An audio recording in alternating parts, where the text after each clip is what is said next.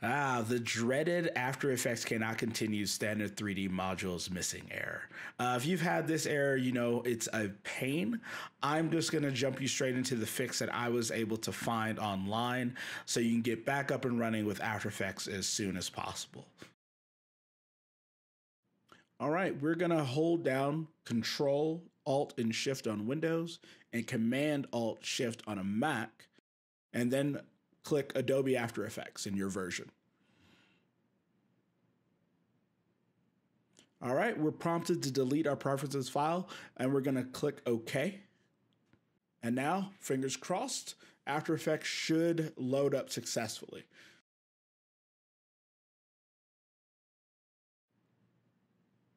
And look at that, Adobe After Effects now loads successfully.